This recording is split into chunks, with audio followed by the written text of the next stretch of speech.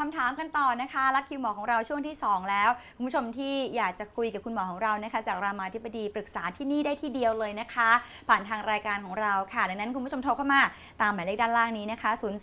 023547103 ถึง 04 วันนี้แฟนๆทางแฟนเพจเนี่ยนะคะ ก็ยังหลั่งไหลเข้ามาเหมือนกัน คุณผู้ชมที่อยากจะสัมผัสช่องทางโซเชียลมีเดียของเราก็เข้าไปกันได้ค่ะ ที่รามาชนะรับรองว่ามีทีมงานของเราคอยตอบคอยคุยด้วยนะคะ มาที่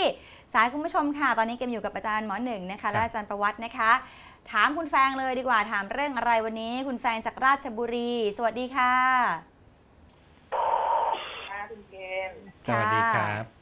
ปรึกษาเรื่องอะไรเอ่ยโอ้สัญญาณกับหน้าฝนนี่เนาะใช่ครับอาจจะเป็นที่ทางเราก็ได้นะ เพราะว่าเป็นอย่างนี้สองสายแล้วเนาะคุณแฟงขาเดี๋ยวให้ทีมงานของเราเช็คสายแป๊บหนึ่งเนาะนะครับเดี๋ยวกลับมาคุยกันหน้าไมาอีกครับทีนึง ขอบคุณนะคะ ค่ะ เพราะว่าโอ้น่าจะฟังครับเข้าใจยากทีเดียวนะคะอาครับจารย์อะมาที่คำถามอ่าคุณผู้ชมนะคะจากแฟนเพจนะคะครับเอ่อบอกว่าใช้ยาพ่นนะคะ น่าจะเป็นยาพ่นจมูกใช่ไหมคะอาจารย์ซิมบิคอตนะครัคะ บ ใช้ติดต่อกันนานๆ จะมีผลข้างเคียงอะไรบ้างคะ อืม จริงๆซิมบิคอตนี่ใช้กับ ก็โรคืคออะไรจริงๆมันคะเป็นซิมบิคอร์ดนี่เป็นชื่อการค้าของอ๋อสเตียรอยด์ชนิดหนึ่งซึ่งครับมีประโยชน์ในการใช้ควบคุมอาการและรักษาโรคหอบหืดนะฮะอืมอ๋อครับคือมันเป็นยาใช้เฉพาะที่ใช้เฉพาะที่คือในหลอดลมในปอดครับการใช้ใช้เป็นระยะยาวนะฮะเพื่อเป็นการเชิงในเชิงของการใช่ป้องกันไม่ให้เกิเล็ดกใช่ให้เป็นการควบคุมให้ควบคุมตัวหอบหืดเนี่ยมันคุมได้ ผลข้างเคียงระยะยาวในส่วนใหญ่ถ้า ถ้าระยะยาวถ้าเกิดส่วนใหญ่เนี่ยผลข้างเคียงในต่อระบบอื่นๆของร่างกายเนี่ยไม่ได้มี ชัดเจนนะครับอืมแต่เป็นแค่ว่าอย่างที่คุณทราบว่าพ่นเสร็จก็ต้องบ้วนปาก เพราะว่าอืมอาจจะเกิดเชื้อราเชื้อราในช่องในปากปากได้เพราะมันเป็นสเตียรอยด์แต่ว่าอืมสเตียรอยด์นี้มันผลต่อระบบระบบอื่นอืมไม่ๆทั่วค่อยมีร่างกายเนี่ยผลไม่ชัดเจนเพราะฉะนั้ครันบสามารถใช้ได้อย่างปลอดภัยครับแต่ถ้าเกิดคุณอืมไม่ใช้เนี่ยคุณจะคุมหอบหืดไม่ได้อืมอืมน่ากลัวจะน่ากลัวคกรับว่าฮะเพราะฉะนั้นคุณหมอตอนนี้เขาสั่งเขาจะชั่งระหว่างเหตุและผลตรงเนี้ยนะฮะครับว่าครับถ้าใช้แล้วควบคุมได้กับไม่ใช้แล้วครับเรามีการหอบ หืดที่ครับบ่อยมากขึ้นก็จะอาจจะเลือกใช้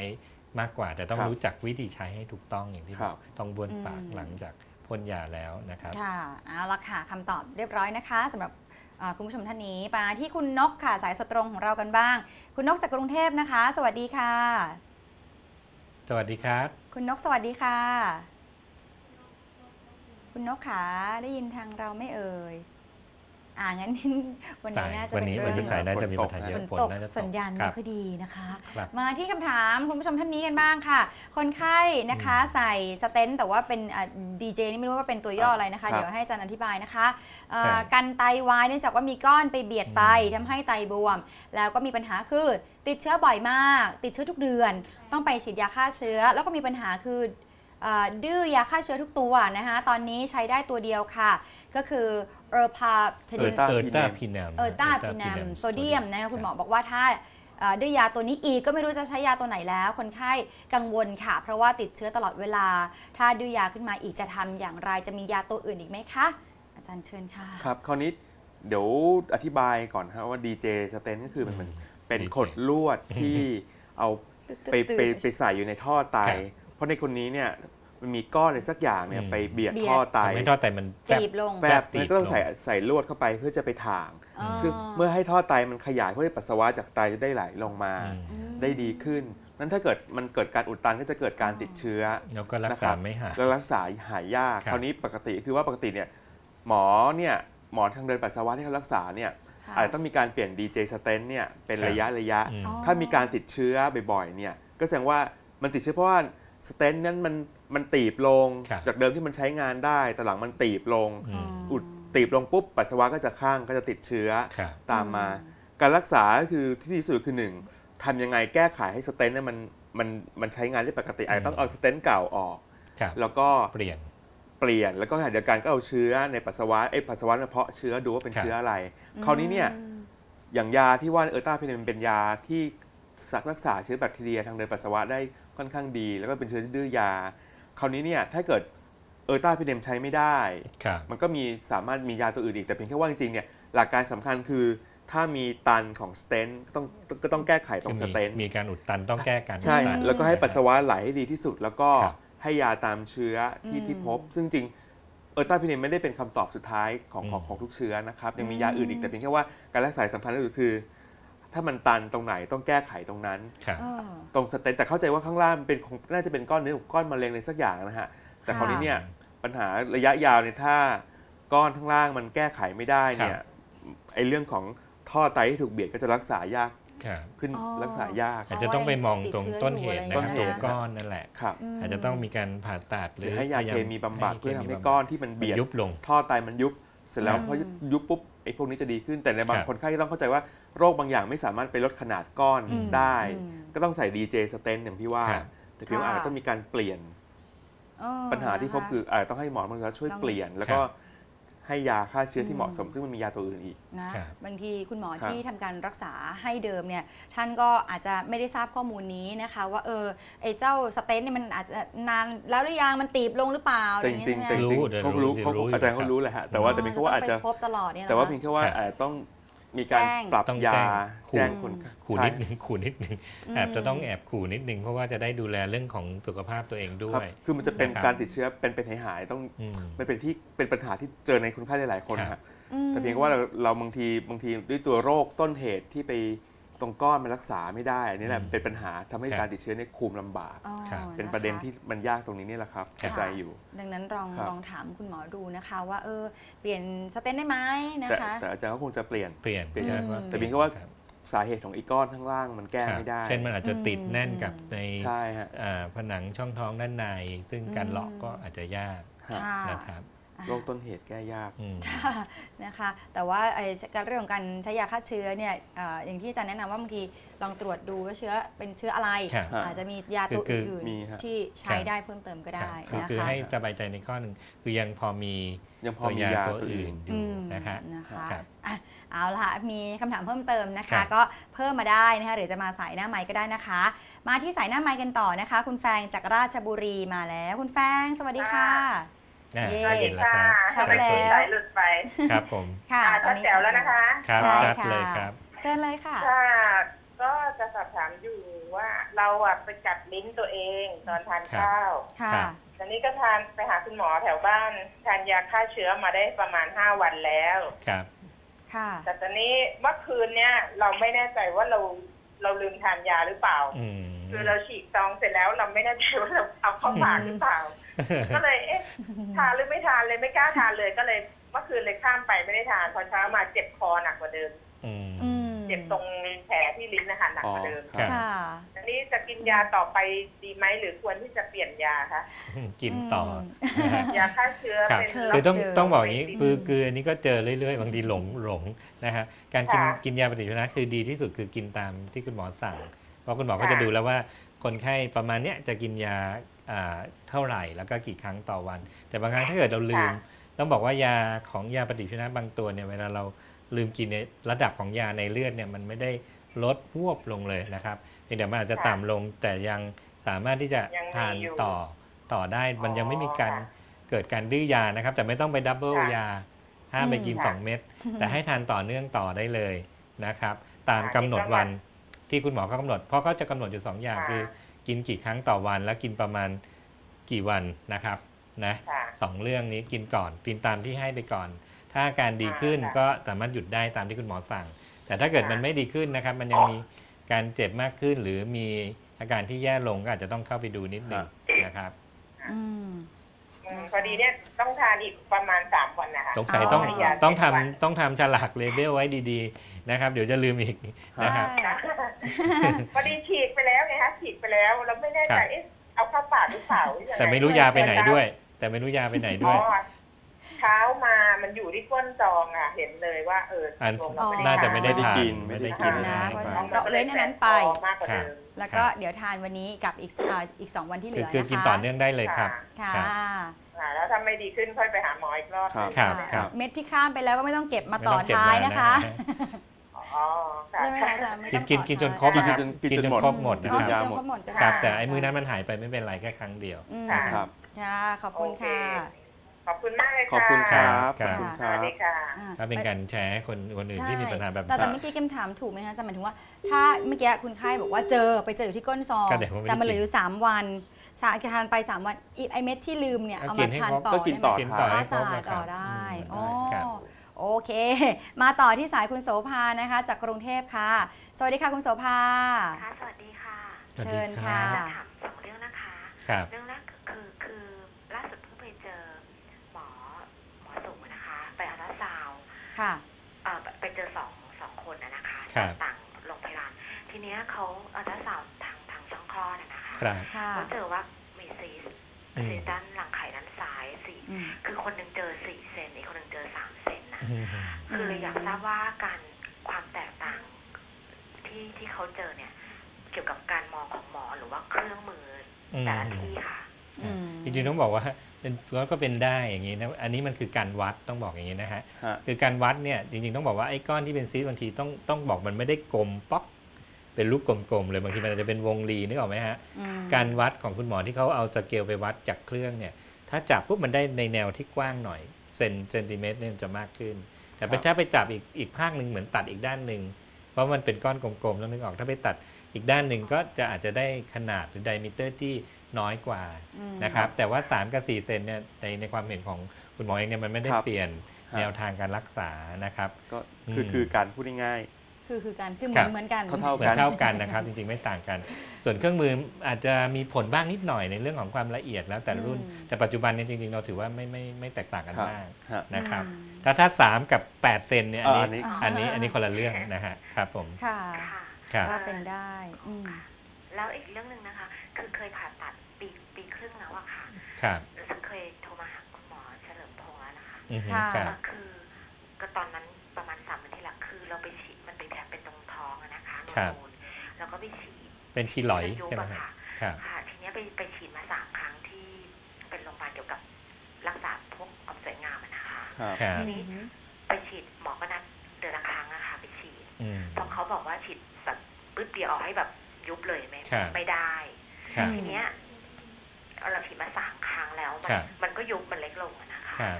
แต่ว่ามันคือเอ่ออยากทราบว่ามันมันจะทำให้เรียบไปเลยได้ไหมคะมันคงไม่เรียบเลยนะครับ เพราะมันเป็นการเจริญของผิวหนังที่บอกว่าครับมันเป็นการซ่อมแซมตัวเองที่ผิดปกตินะครับ การถึงเราจะไปผ่าตัดต้องบอกว่าในลักษณะการรับหรือการซ่อมแซมของ บาดแผลเรามันเป็นแบบนี้ครับเราผ่าตัดใหม่อาจจะใช้เทคนิคของเลเซอร์อะไรก็แล้ว แต่มันจะเหลือร่องรอยไว้นะครับอืมแต่บางครั้งเนี่ยถ้าเกิดมันเริ่มนูน หรือครับเริ่มมีการสร้างของเซลล์มากขึ้น การฉีดยาส่วนใหญ่ยาที่ฉีดเนี่ยกลุ่มที่ฉีดจะเป็นกลุ่มของสเตียรอยด์นั่นแหละ มันก็จะทำให้มันเรียบลงมากที่สุดเท่าที่ทำได้ แล้วลดอาการข้างเคียง เช่น อาการคันครับอาการแข็งของของแผลมันจะนุ่มลงนะครับ บางทีมันสงบไปครับแต่มันจะอยู่มีมีรอยนิดนึง แต่จะไม่เรียบเลยฮะ นะครับ แต่ว่าเขาจะไม่ไม่ขึ้นมาอีกใช่ไหมคะไม่บาง ไม่กลับไปเป็นเหมือนก่อนตอนแรกที่บางครั้งมันก็ไม่ขึ้นนะฮะ บางรายเนี่ยก็ยุบได้นาน ครับยกเว้นเราไปมีปัจจัยกระตุ้น อย่างเช่น มีแรงดึงดึงตึงตึงๆเยอะฮะๆ หรือไปเกานะครับ หรือมีการอักเสบหรือติดเชื้อบริเวณตรงนั้น ครับ ก็จะทำให้มันนูนขึ้นมาได้เหมือนเดิก็ม เป็นการซ่อมแซมของร่างกายฮะ ซึ่งซึ่งเหมือนมันขยันเกินนะมันซ่อมแล้วมากเกินนะครับอืมก็เลยเป็นแผลเป็น นะฮะแล้วมันก็จะเป็น หลาย ๆ จุดนะฮะต้องบอกอย่างนั้นแผลที่อื่นก็เกิดแบบนี้ได้นะครับอืมนะคะค่ะค่ะครับค่ะค่ะค่ะครับสวัสดีค่ะครัณบโสภาขอบคุณครับ มาที่สายคุณนกนะคะจากกรุงเทพค่ะ สวัสดีค่ะคุณนกค่ะ สวัสดีค่ะคุณหมอ ครับ สวัสดีครับ ค่ะเชิญค่ะอยากถามคุณหมอว่าทุกวันนี้เวลาหายใจอะมันชอบหายใจแบบสั้น ๆนะคะ ค่ะอือหือครับ อยากจะหายใจยาวๆเนี่ยไม่ทำต้องทำแบบไหนอะคะคุณหมอ หายใจถี่มั้งอะคะคุณเกมสอน หายใจยาวต้องพูดยุบหนอพองหนอไงล่ะคะๆอาจจะต้องกำหนดลมหายใจ ต้องต้องถามก่อนว่าทำไมไอ้อาการหายใจสั้น ๆ เนี่ยมันมันเรารู้ได้ไงว่าหายใจสั้นตอนนี้ต้องอืมต้องรู้ถามค่ะว่าวันเวลา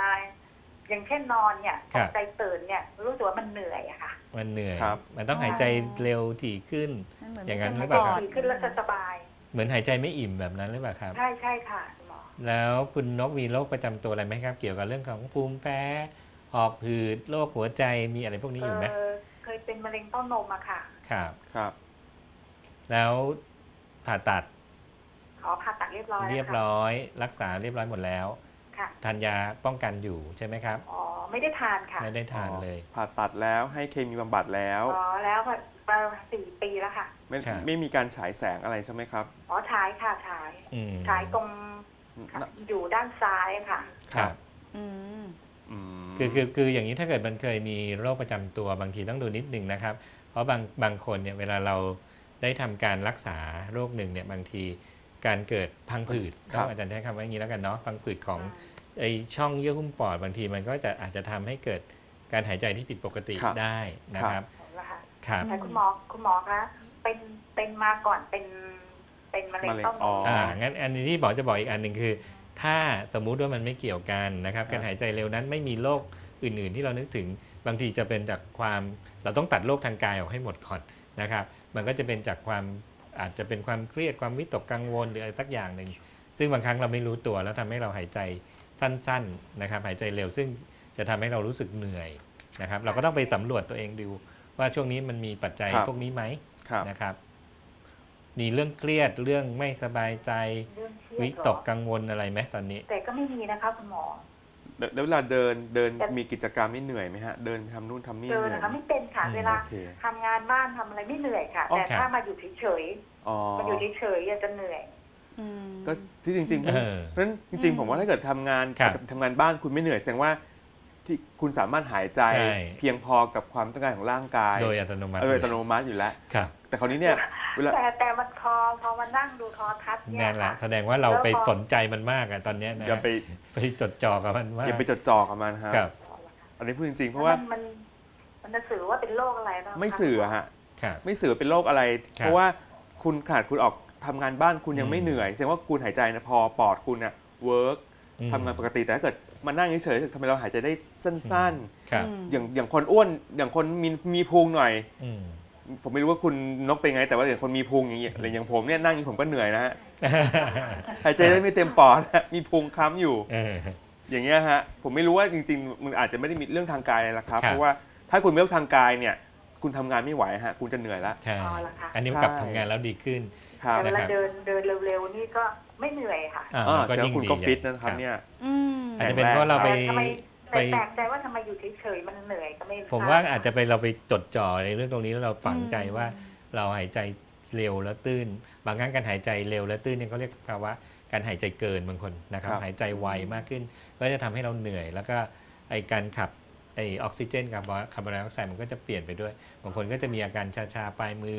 เวียนเวียนๆศีรษะได้เหมือนกันเพราะฉะนั้น อ๋อเป็นค่ะ แล้วหัวใจเออจะเต้นจะเต้นเร็วใช่ มันเป็นผลที่ตามมาไงฮะ เพราะฉะนั้นสิ่งที่ดีที่สุดคือการกำหนดการหายใจแหละครับ ตอนนี้กับอีกอันอืมที่อาจารย์บอกคืออย่าไปสนใจมันมาก คืออม ปล่อยมันสบายๆนะครับ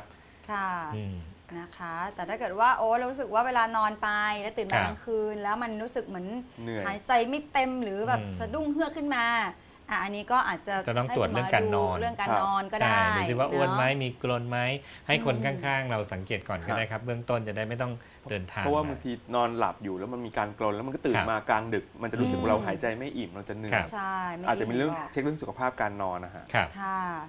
นะคะ บอกคุณหมอตามนี้ก็ได้นะคะ ขอบคุณค่ะค่ะขอบคุณครับขอบคุณมากนะคะคุณหมอจ้าสวัสดีค่ะสวัสดีครับ ค่ะอะ มาที่คำถามจากแฟนเพจน่าครับจะเป็นคุณผู้ชมท่านที่ต่อสายสดตรงเข้ามานะคะอืมเอ่อเรื่องของ Panic นะคะ แล้วก็ครับ เอ่อที่แบบว่าเป็น Vertigo ใช่ไหมคะอาจารย์ ครับผม ใช้ยาใช่ไหมคะสสสตูจิรอนจูสตูจิรอนครับ นะคะ จะใช้ยาตัวไหนทดแทนได้ไหมครับ กับการรักษา Vertigo ครับเอ่อ ทุกวันเนี่ยทานวันละ1เม็ดก่อนนอนนะคะอือหือทานมาเป็นปีแล้วอืมอืมแต่ว่าจริงๆ Vertigo นี่คืออะไรคะอาจารย์คือคือการเวียนศีรษะอ๋อที่บอกว่าโคลงเอ่อความรู้สึกโคลงโคลงเวียนเหมือนอืมเหมือนบ้านหมุนหรืออมตัวเราอืมโคลงโคลงหมุนอยู่นะฮะค่ะไม่ไม่ไม่ไม่ stable ค่ะฮะเพราะฉะนั้นยาตัวนี้อ่าจริงๆครัแล้ว ครับโอเคหรือยังหรือว่ามีตัวอื่นทดแทนไหมแต่ไม่แน่ใจเหมือนกันว่าทำไมถึงอยากเปลี่ยนยานะคะอาจาร แต่มันย์ก็มีนะมีมีฮะนะครับแต่มันค่ะก็จะมีผลข้างเคียงคล้ายๆอย่างที่อาจารย์ประวัติบอก ก็มีพวก dimenhydrinate ครับ พวก Dramamine ก็ได้ ฮะแต่พวกนี้กินแล้วส่วนใหญ่ก็แนะนำว่ากินเสร็จนอนควรจะนอนไปเลยพักอะฮะ เพราะถ้าเราไปฝืนบางทีอาการง่วงๆ ก็ยิ่งทำให้เกิดความเขาเรียกว่าเวียนเวียนศีรหัวษะมากมากขึ้น ฮะ พวกนี้ทานตื่นมาจะดีขึ้นครับ นะครับหรือไม่งั้นไปไปเวียนเวียนๆล้มอีกเกิดฮะ ปัญหา ฮะ นะครับก็มีตัวอื่นแล้วก็บางตัวก็อาจจะเป็นยาที่ช่วยในเรื่องของการเพิ่ม ของเลือดที่ไปเลี้ยงสมองให้มากขึ้นนะครับใช่ครับครับอืมอาจจะต้องเข้าไปปรึกษาคุณหมอบอกครัว่าบเพราะว่าตรงตรงนี้อาจเราจะอาจจะไม่เห็นอาการทั้งหมดใช่ฮะหนะรือว่าฮะครับมีหลายตัวฮะอย่างเช่ครันบเบต้าฮิสตีนอะไรพวกนี้ก็ใช้ได้อ่าใช่ครับไปช่วยเรื่องอืมการไหลเวียนของเลือดด้วย แล้วก็จะ ครับช่วยลดอาการเวียนด้วย นะครับค่ะนะตอบคำถามนะคุณปริญญาค่ะ เอาละวันนี้ขอบพระคุณนะคะ อาจารย์หมอของเราทั้งสองท่านค่ะ ครับ อาจารย์ดรนายแพทย์ศักดาอาจองค์วลิภากร กลุ่มสาขาระบาดวิทยาคลินิก และชีวสถิตินะคะ และอาจารย์นายแพทย์ประวัติจันทริศนะคะจากภาควิชาอายุรศาสตร์ที่มาร่วมตอบคำถามลัดคิวหมอกับเราขอบพระคุณค่ะอาจารย์ครัค่ะบดีครับ วันพรุ่งนี้คุณผู้ชมที่อยากจะโทรเข้ามาปรึกษาปัญหาสุขภาพนะคะ หรือว่าจะฝากคำถามผ่านแฟนเพจนะคะรามาชนาของเราเนี่ยนะคะวันพรุ่งนี้เตรียมตัวเอาไว้เลยค่ะ คุณสาวๆนะคะ อาจารย์สุวิชา จิตติถาวรนะคะ อาจารย์อุ้ม จากภาควิชาสูติศาสตร์นารีเวชวิทยานะคะ จะมาร่วมตอบคำถามกับอาจารย์แพทย์หญิงจิราพรอรุณากูลค่ะ จากภาควิชากุมารโรเวชศาสตร์นะคะดังนั้น คุณพ่อคุณแม่ปรึกษาเรื่องคุณลูกนะคะ หรือคุณผู้หญิง อยากจะปรึกษาโรคทางผู้หญิงผู้หญิงนะคะ เมื่อสักครู่มีคำถามมาเหมือนกัน บอกว่าเจอ เนื้องอกนะคะ ถุงน้ำนะคะในรังไข่อะไรพวกนี้นะคะะประจำเดือนมาไม่ปกติวัยทองนะคะ หรือโรคทั่วไปค่ะ เบาหวานความดันไขมันนะคะ โทรมาวันพรุ่งนี้กันได้ใหม่วันนี้หมดเวลาแล้วจริง ๆนะคะ เจอกันใหม่วันพรุ่งนี้นะคะ5โมงเย็นเป็นต้นไปกับรายการพบหมอรามาค่ะ ส่วนวันนี้เกมพร้อมอาจารย์หมอทั้งสองท่านและทีมงานลาไปแล้ว สวัสดีค่